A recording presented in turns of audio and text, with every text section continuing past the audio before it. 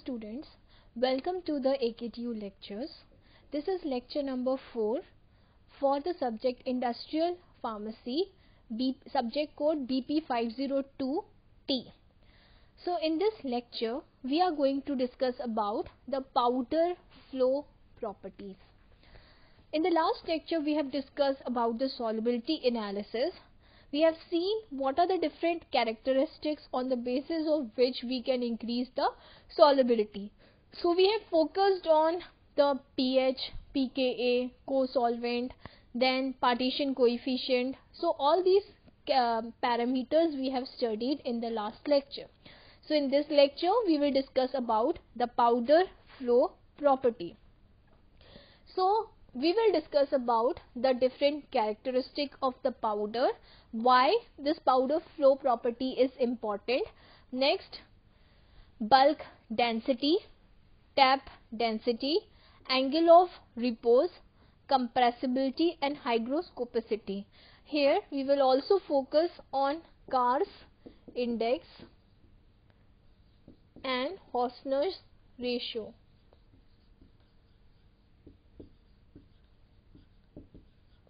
So these two topic also we are going to study in this lecture. Powder flow characteristic. So first of all we should know what is a powder. So powder is the mass of solid particles. It is the mass of solid particles or the granules which which helps in the development of the tablet or granules or the capsule. So this powder, powder is an important uh, substance which helps in the development of the tablet.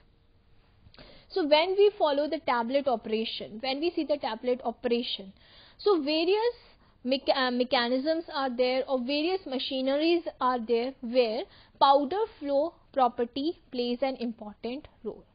So we have to first understand then what is the importance of powder flow characteristic. So a good powder a good flow of the powder or granulation is necessary for first efficient mixing. So what is efficient mixing? Suppose you are making a tablet, you are using different excipient, diluent, disintegrant, lubricant, glidant, drug. You have to mix all the, uh, all the ingredient. So if the flow of the property will not be efficient, the mixing will not take place properly and uniformity will not be obtained. So this is most important mixing step is most important second is weight uniformity now as you know that tablet is a unit doses form tablet क्या है एक unit doses form है तो unit doses form क्या होता है जहां पे आप स्ट्रिप से एक सिंगल सिंगल टैबलेट कंज्यूम कर सकते हो जो भी क्लेम होता है लेबल में date is suppose 500 hundred M G so each unit in a tablet consist of five hundred M G so this is unit doses form तो weight uniformity is very important because you are consuming a single tablet और single tablet में they should be suppose five hundred M G because this five hundred M G is required for showing the pharmacological effect जो भी pharmacological effect चाहिए है किसी भी treatment of disease या फिर डिसीज uh, के लिए तो आपको 500 mg उस टाइम आपके बॉडी की रिक्वायरमेंट है। तो 500 mg आपकी बॉडी में देना कंपलसरी होता है। So this unit doses forms tells that it should contain 500 mg in a single unit so weight uniformity क्यों होनी चाहिए? क्योंकि आप जो बल्क बना रहे हो, आप जो पाउडर बना रहे हो, जो मास्क बना रहे हो, उस मास्क को यूज़ करके जो आप टैबलेट फॉर्मुलेट कर रहे हो तो उस टैबलेट फॉर्मुलेशन में single single unit should contain 500 M G that is a weight uniformity अगर पाउडर फ्लो प्रॉपर्टी ठीक नहीं हुई तो डिस्ट्रीब्यूशन इवनली नहीं होगा और इवन डिस्ट्रीब्यूशन नहीं होने के कारण आपकी वेट यूनिफॉर्मिटी अपटेन नहीं होगी. सो दैट इज़ वाई जो पाउडर की फ्लो प्रॉपर्टी है it should be determined and it should be seen अगर पाउडर फ्लो अच्छे से नहीं हो रहा है तो किस तरीके से वो फ्लो हो रहा है? उसको एनालाइज करना कंपलसरी है प्री फॉर्मुलेशन स्टडीज़ में एंड किस तरीके से हम उसको यूटिलाइज कर सकते हैं? So this is the importance of powder now as you know that कि जब भी हम डोजेस फॉर्म डेवलप करते हैं, उसमें प्री फॉर्मुलेशन स्टडीज़ करने then we are going for the scale up process so अगर हम प्री फॉर्मुलेशन स्टडीज़ स्किप कर दें and we directly go to the large scale production and वहाँ पे हमें डिटेक्ट हो कि that powder is having a flow property issue it is having the flow issue तो वहाँ पे आपकी यूनिफॉर्मिटी मेंटेन नहीं होगी and there you will face a loss because you know that कि आपका जो टैबलेट प्रोडक्शन होता है, कितना एक्सपेंसिव होता है, कितने सारे एक्सीपियंट यूज़ होते हैं मोर ओवर कितने सारे लेबर्स रहते हैं उसको मैन्युफैक्चर करने के लिए and there if you are you are experiencing any issue then it is a great loss so उस लॉस से बचने के लिए हमें पहले ही डिटरमाइन करना होता है कि हमारे पाउडर की फ्लो प्रॉपर्टी क्या है। तो powder flow parameters affecting the powder physical parameters which are affecting the powder flow तो first is size size of any drug is very important अगर पार्टिकल्स के साइज़ लार्ज हुए एंड यूनिफॉर्म नहीं हुए then it it will be difficult to flow it will not flow uniformly क्योंकि tablet produce करने के लिए you have a die punch machine जिसमें आपके फन हॉपर से होते हुए पाउडर फ्लो होके डाई कैविटी में एंटर होता है। तो अगर हॉपर से जब वो फ्लो हो रहा है, वहाँ पे आपके पार्टिकल का साइज़ इंक्रीज हुआ तो आपका यूनिफॉर्म फ्लो नहीं होगा, जिससे आपकी यूनिफॉर्मिटी मेंटेन नहीं हो पाएगी। सो डेट इज़ वाई आपके पार्टिकल का साइज़ लेस होना चाहिए, जिससे आपकी फ्लो प्रॉपर्टी जो है, वो क्या होती है इंक्रीज हो जाती है। नेक्स्ट होता है shape shape of the drugs should be spherical shape of the drug should be spherical अगर ये स्पेरिकल शेप होते हैं suppose it is flowing from the hopper and this is spherical in shape तो it can easily flow but अगर ये किसी और shape के होंगे या फिर इरेगुलर होंगे तो flow property can be affected so always it is preferable कि आप जो शेप है वो कैसा शेप रखो it should be spherical in shape next आता है आपका एंगुलैरिटी आपका ड्रग किस एंगल से फ्लो करता है, वो भी बहुत इंपॉर्टेंट पैरामीटर होता है, जो डिसाइड करता है कि you are having a good flow और you are not having a good flow so angularity of the drug should be determined very carefully next है पार्टिकल डेंसिटी पार्टिकल डेंसिटी बताता है कि how much particles are densely packed अगर densely packed होते हैं तो flow property hinder करते हैं. That is why it should be freely flowing next come hardness अगर पाउडर आपका हार्ड होता है देन उसकी फ्लो प्रॉपर्टी अफेक्ट होती है and this result in the hard tablet तो हार्ड टैबलेट अगर आप लेते हो तो it helps in the decrease absorption and dissolution क्योंकि हार्डनेस इंक्रीज होने के कारण डिजोल्यूशन नहीं होता एंड डिजोल्यूशन नहीं होता है तो एब्जॉर्प्शन ऑफ़ ड्रग हिंडर करता है। तो डेट इज़ वाई आपकी हार्डनेस बहुत इंपॉर्टेंट पैरामीटर है। नेक्स्ट है आपके इलेक्ट्रोस्टैटिक चार्जेस आपको पता है कि आपके जो ड्रग्स होते हैं तो ड्रग्स में चार्जेस होते हैं। उसके सरफेस में, उसके सरफेस में चार्जेस होते हैं। आइदर पॉजिटिव चार्ज और नेगेटिव चार्ज तो वो सारे चार्जेस आपके पार्टिकल के ऊपर इवनली डिस्ट्रीब्यूटेड होते हैं।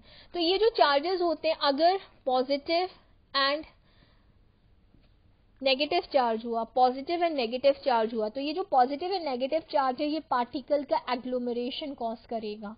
Why Because particles will attract to each other and this will affect the flow property so अगर दूसरा नेगेटिव नेगेटिव चार्जेस हुए या पॉजिटिव पॉजिटिव चार्ज हुए तो दो पार्टिकल्स को वो क्या करेंगे रिपल करेंगे सो so, दो दो particles two particles can move freely from the hopper machine. So therefore electrostatic charges plays the important role. Next है absorbed moisture. अगर आपके ड्रग में मॉइस्चर प्रेजेंट है तो मॉइस्चर क्या करेगा? जो डाई वॉल्स हैं, या फिर हॉपर की जो वॉल है, उससे स्टिक हो जाएगा और उसकी जो फ्लो प्रॉपर्टी है, वो अफेक्ट हो जाएगी। तो आपके जो पाउडर है it should be in a well dry state ये कैसा होना चाहिए? It should be present in a well dry state So, these are the different physical parameter which affect the flow property of the powder. Next है powder flow property powder flow property can be determined by bulk density tap density, true density, angle of repose, Karp's index and Hausner's ratio. First is bulk density. So bulk density determines the bulk of the drug. And why it is important? It is important to determine the high dose capsule product. High dose capsule product means if you want to insert a high dose into the capsule. So you should know that how much is the compactability of your powder so that it can be easily filled inside the capsule and it can be fit easily. So the high dose capsule को अगर आपको deliver करना है तो उसके लिए bulk density पता होना कंपलसरी है नेक्स्ट है homogeneity of a low dose formulation low dose क्या होते हैं potent drug Drugs which are given in very less quantity तो ये जो ड्रग्स होते हैं पोटेंट ड्रग्स उसको मिक्स होना दूसरे इंग्रेडिएंट्स के साथ बहुत कंपलसरी होता है। तो अगर आपको नहीं पता होगा what is the bulk density of your drug तो how you will mix it with the other excipient so that is why to produce the uniformity in mixing, you should know the bulk density of your potent drug. Next is final size of the dosage form final size of the dosage form जब आप doses form complete करते हो तो next steps comes is packaging तो आपको पता होना चाहिए कि आपका कितना बल्क है ड्रग का जिसके बेसिस में आप कितने क्वांटिटी पैकेजिंग की एक्वायर कर सकते हो for complete and successful packaging of the dosage form so that is why final size पता होना चाहिए, जिससे आप उसकी पैकेजिंग को अच्छे से डिफाइन कर सको डिटरमाइन कर सको। So this is why bulk density is very important next is how we can measure the bulk density तो बल्क डेंसिटी मेजर करने के लिए आपको हमेशा you need to take a measuring cylinder measuring cylinder में you need to pour the drug आप drug को इसमें पोर कर दो। तो and after pouring the drug you need to calculate the weight and you need to calculate the volume what is density? Density is equal to mass upon volume. तो आप यहाँ से weight, that is mass, and volume and volume. Volume आप determine कर लो तो volume determine करके आप इसकी डेंसिटी डिटरमाइन कर सकते हो। तो what is bulk density it is the density which is poured in the cylinder and जैसे ही आप उसमें पोर करो, जो भी उसका वॉल्यूम आता है that gives the bulk density तो जहाँ पे जो भी वॉल्यूम आएगा, आप उस वॉल्यूम को नोट करोगे एंड इस वॉल्यूम की वैल्यू जब आप यहाँ पुट करोगे, वो आपकी बल्क डेंसिटी डिटरमाइन करेगा। So the weight powder sample is poured into the measuring cylinder and the volume of the sample is measured from the mark of the cylinder mark of the cylinder है, वो volume determine करेगा, जिससे आप bulk density को calculate कर सकते हो। Next आता है आपका टैप डेंसिटी टैप डेंसिटी क्या होता है? It is measured by tapped volume and weight of the sample now what is tap आपने मेजरिंग सिलेंडर लिया। You have taken a measuring cylinder you have taken a measuring cylinder and इस measuring cylinder में आपने drug को क्या किया? पोर किया। Drug को पोर करने के बाद suppose this is your volume initial volume you achieved इसके बाद आपको क्या करना है? टैप करना है। टैप एक इंस्ट्रूमेंट होता है डेंसियोमीटर करके। तो उसमें आप क्या करते हो? इस वॉल्यूम को टैप करते हो हंड्रेड टाइम्स हंड्रेड टाइम्स आप मेजरिंग सिलेंडर को उस इंस्ट्रूमेंट में रख के टैप करते हो। You give a pressure so that जो भी यहाँ पे एयर स्पेस है, वो रिमूव हो जाए और आपका ड्रग कॉम्पैक्ट हो जाए।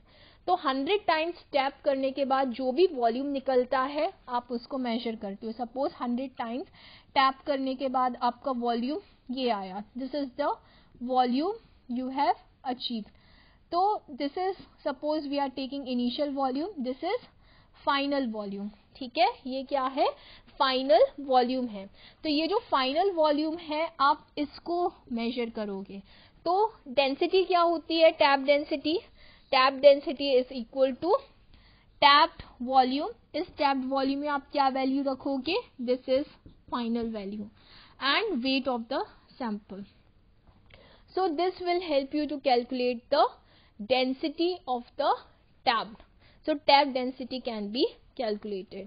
इसका मेथड वही है you need to take the measuring cylinder measuring cylinder लेने के बाद आप उसमें पाउडर को पोर करोगे। पोर करने के बाद you will tap it with the help of densiometer. डेंसियोमीटर में टैप करोगे 100 times and you will measure the volume this is how you can measure the tap volume next आता है angle of repose angle of repose हम कैसे major कर सकते हैं? Angle of repose सबसे पहले होता क्या है? We have to understand that so angle of repose is the angle formed on the surface of the pile of the powder and horizontal surface. उसके, उससे जो भी एंगल निकलता है, आप उससे एंगल ऑफ़ रिपोज को फॉर्म कर सकते हो. Suppose this is the funnel आपको इसमें एक फनल लेना पड़ता है. एंड इस फनल से पाउडर को क्या करना होता है? पास कराना होता है। तो पाउडर पास होता है जैसे तो यहाँ पे आपका एक ग्राफ पेपर रखा होता है। ग्राफ पेपर में ये पाउडर गिर के एक पाइल बनाता है। ये जो ही फॉर्म हो रहा है that is known as pile इसको आप क्या बोलते हो? पाइल तो ये जो पाइल फॉर्मेशन होता है, आप इसकी हाइट मेजर करते हो कि कितने हाइट पे ये फॉर्म हो रहा है। ठीक है? एंड फिर आप इसका पेपर लेते हो, जो आपने ग्राफ पेपर लिया है, और इसमें इस पाइल को हटाने से पहले you make a circle around the pile तो ये सर्कल ऐसे निकल के आता है, ये जो बेस होता है पाइल का, इसका सर्कल आप लेते हो. Then you make a round circle इस सर्कल का आप क्या मेजर करते हो? यू मेजर द डायामीटर तो आपके पास एक हाइट आ गया है, दूसरा यू हैव द डायामीटर तो what angle of repose is same angle of repose होता है maximum angle which is formed by the surface of the pile ये क्या है? Surface of the pile and horizontal surface ये है आपका horizontal surface तो ये जो सरफेस ऑफ़ द पाइल है और ये जो हॉरिजॉन्टल सरफेस है, इसके बीच में जो एंगल बन रहा है, ये एंगल होता है आपका एंगल ऑफ़ रिपोज क्या होता है ये आपका?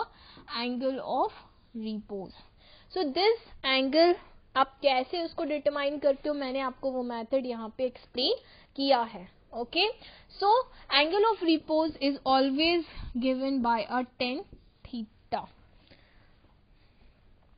so tan theta is equal to h upon r diameter आपको वहाँ पे मिल गया था.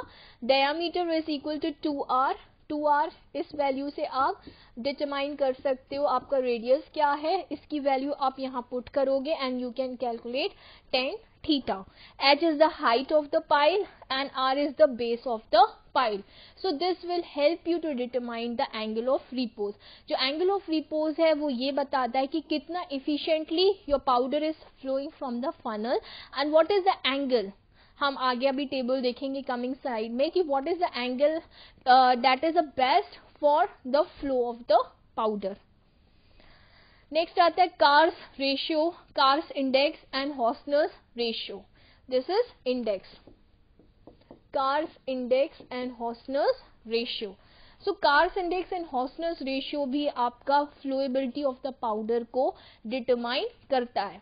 So what is the formula to calculate the Carr's index Carr's index is is the tap density minus bulk density हमने ऊपर वाली स्लाइड में tap density and bulk density को कैलकुलेट करना सीखा था। तो first you will take the tap density tap density को हम बल्क डेंसिटी से सब्ट्रैक्ट करेंगे। Divided by tap density into 100 so this is the formula for calculating the Carr's index Hausner's ratio क्या होता है? Ratio of tap density and bulk density इसके ratio से आप हॉस्टल्स रेशियो कैलकुलेट कर सकते हो।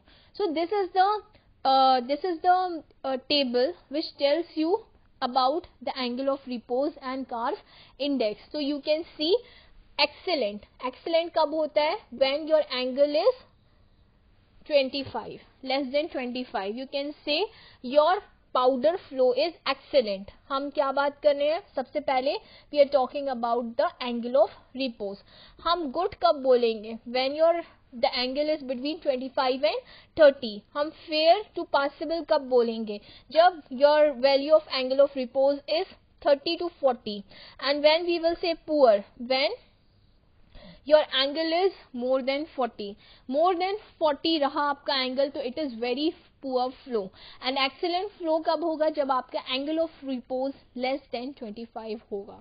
Next is Carr's index Carr's index की वैल्यू एक्सीलेंट कब होगी? जब it is 5 to 15 percent next it is good good कब होगी? Between twelve to six next fair to possible fair to possible कब होगी? Eighteen to twelve poor poor कब होगी? 23 से 25 एंड वेरी पुअर कब होगी? 33 से 38 और एक्सट्रीमली पुअर जब आपके 40 से अबव इसका वैल्यू आता है तो वो आप कंसीडर करोगे कि पाउडर का फ्लो वेरी पुअर है। नेक्स्ट आता है कंप्रेसिबिलिटी कंप्रेसिबिलिटी क्या होता है एंड कॉम्पैक्टेबिलिटी इसमें हमेशा कंफ्यूजन होता है स्टूडेंट्स को कि कंप्रेसिबिलिटी कब बोलते हैं एंड कॉम्पैक्टेबिलिटी कब बोलते हैं। तो कंप्रेसिबिलिटी क्या होता है? जब आप पाउडर को कंप्रेस करते हो। जो भी पाउडर के पार्टिकल्स होते हैं, उसके बीच में जो भी एयर स्पेस होता है या एयर वॉइड्स होता है, आप क्या करते हो उसे कंप्रेस करते हो। कैसे कंप्रेस करते हो? आप फोर्स लगाते हो। तो इस फोर्स से क्या होता है? ये फोर्स आपके जो भी एयर वॉइड्स है, उसको रिमूव करता है। It remove the air voids और एयर वॉइड्स को रिमूव करके इसे क्या करता है? कंप्रेस्ड फॉर्म में करता है। जो भी पार्टिकल्स हैं, उसके बीच से जो एयर है, वो रिमूव हो जाती है और ये कंप्रेस्ड फॉर्म में आ जाती है। जो भी एयर है it gets removed and it comes into the compressed form. So, here you can see that compressibility क्या होता है? पाउडर की प्रॉपर्टी होती है, जो ability to decrease the volume under pressure मतलब आप फोर्स लगा रहे हो एयर वॉइड्स आपके रिमूव हो रहे हैं, उससे आपका पार्टिकल क्या हो रहा है? कंप्रेस हो रहा है. तो this is known as compressibility next आता है कॉम्पैक्टेबिलिटी कॉम्पैक्टेबिलिटी क्या होता है? Ability of the powder material to be compressed in a tablet of specified tensile strength. तो जब भी आपको मैकेनिकल स्ट्रेंथ इंक्रीज करनी होती है आपके टैबलेट की तो आप उसे कॉम्पैक्ट करते हो। यू कॉम्पैक्टेड आप कॉम्पैक्शन अप्लाई करते हो, उससे आपकी कंप्रेसिबिलिटी क्या होती है? इंक्रीज हो जाती है। नेक्स्ट आता है हाइग्रोस्कोपिसिटी हाइग्रोस्कोपिसिटी आपके पाउडर का मॉइस्चर कंटेंट डिटरमाइन करने में हेल्प करता है। तो काफ़ी सारे कंपाउंड्स होते हैं जो सेंसिटिव होते हैं मॉइस्चर के लिए एंड एंड डिफरेंट कंपाउंड जो भी सॉल्ट्स होते हैं, वो मॉइस्चर के लिए सेंसिटिव होते हैं। तो मॉइस्चर की प्रेजेंस से वो क्या करते हैं? या तो डेलिक्विसेंट बन जाते हैं या फिर हाइग्रोस्कोपिक बन जाते हैं। डेलिक्विसेंट क्या होते हैं? जो मॉइस्चर को एब्जॉर्ब करके लिक्विड फॉर्म में कन्वर्ट हो जाते हैं। या फिर हाइग्रोस्कोपिक क्या होते हैं जो मॉइस्चर को एब्जॉर्ब करके वेट मास बनाते हैं? तो अगर आपने प्री फॉर्मुलेशन स्टडी में ये डिटरमाइन नहीं किया कि आपके पाउडर की जो प्रॉपर्टी है, क्या है वेदर इट इज़ हाइग्रोस्कोपिक और नॉट तो मैन्युफैक्चरिंग के टाइम बहुत ज़्यादा इश्यूज़ आ सकते हैं। तो इसलिए हमें पाउडर की जो हाइग्रोस्कोपिसिटी है, उसको डिटरमाइन करना काफ़ी कंपलसरी होता है। It is very necessary so moisture is an important factor that can affect the stability of the drug sorry जो भी ड्रग की स्टेबिलिटी होती है वो काफ़ी ज़्यादा अफेक्ट होती है अगर आपका ड्रग मॉइस्चर गेन कर ले। सपोज़ फॉर एग्जांपल आपने टैबलेट बनाया तो टैबलेट आपका मैन्युफैक्चर uh, हुआ। अब उसने मॉइस्चर गेन कर लिया तो इट विल बी इनफेक्टिव क्योंकि आप मॉइस्चर गेन टैबलेट में जो भी ड्रग प्रेजेंट है तो मॉइस्चर के कारण वो ड्रग डिग्रेड हो जाएगा। और इस तरीके के ड्रग को अगर आप लेते हैं तो it will not be pharmacologically effective तो जो भी अभी तक हमने प्रॉपर्टीज़ पढ़ी हुई हैं जो भी हमने फ्लो प्रॉपर्टीज़ पढ़ी है बल्क डेंसिटी टैप डेंसिटी या फिर angle of repose Carr's index ये बेसिकली आपके फ्लो कैरेक्टरिस्टिक्स को डिफाइन कर रही है। किसको डिफाइन कर रही है? It is defining the flow characteristics तो ये जो फ्लो कैरेक्टरिस्टिक्स है, ये कब काम आता है? When you are manufacturing the tablet जब भी आप टैबलेट को बना रहे हो, उसमें ये वर्क करता है, क्योंकि टैबलेट को किससे मूव करना होता है? It has to move to the hopper hopper से मूव होके it has to reach to the die cavity die cavity में पंचेस लगे होते हैं तो पंचेस क्या करते हैं? उसे पंच करते हैं। तो जो पाउडर्स हैं, वो फ्लो होके आपके डाई कैविटी में मूव हो रहे हैं। तो अगर फ्लो प्रॉपर्टी आपकी इफिशियंट नहीं होगी तो क्या होगा? आपके पाउडर में यूनिफॉर्मिटी नहीं आएगी।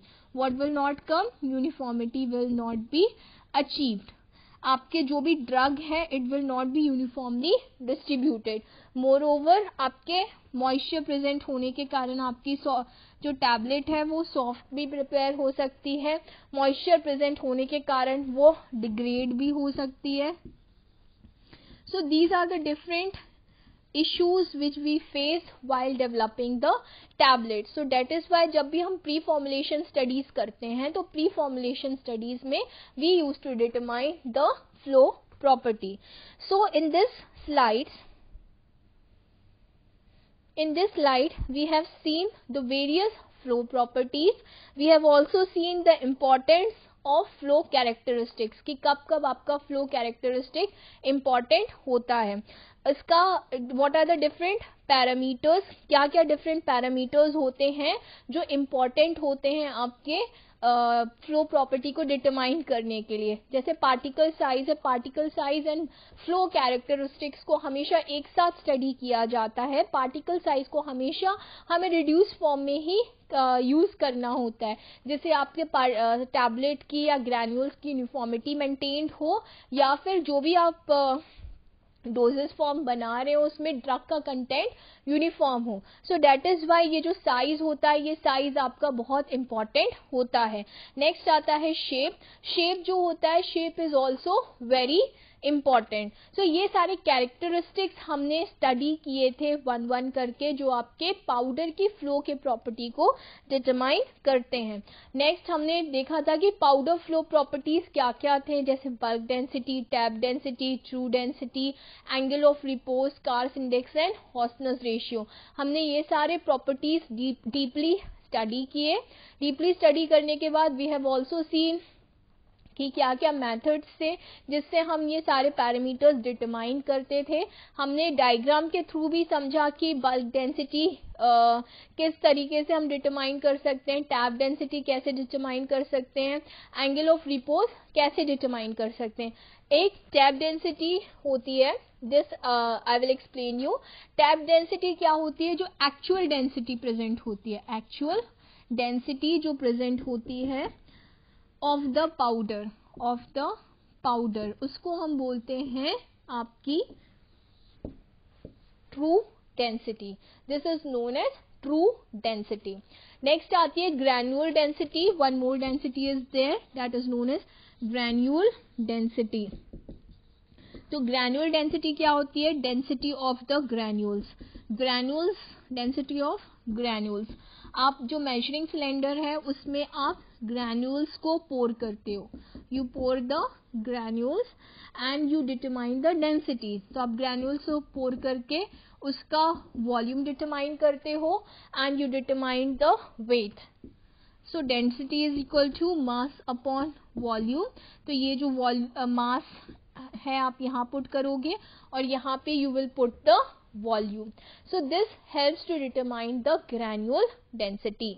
Next हमने angle of repose Carr's index and Hausner's ratio भी डिटेल में स्टडी किया था। Then we have studied the bulk density bulk density का क्या यूज़ होता है? किस लिए यूज़ होती? है मेनली बल्क डेंसिटी का यूज़ होता है फाइनल साइज़ डिटरमाइन करने के लिए एंड होमोजेनिटी मेंटेन करने के लिए। नेक्स्ट होता है मेज़रमेंट ऑफ़ बल्क डेंसिटी ये भी हमने काफ़ी डिटेल में स्टडी किया था। टैप डेंसिटी हमने डायग्राम के थ्रू समझा था किस तरीके से हमने डिटरमाइन कर सकते हैं। नेक्स्ट टैप डेंसिटी ये मेथड है उसका डिटरमाइन करने का। एंगल ऑफ़ रिपोज ये सारी स्टडीज़ हमने स्टडी uh, किया था। Okay in the next slide the next lecture we will study about the uh, solubilization and dissolution. Thank you.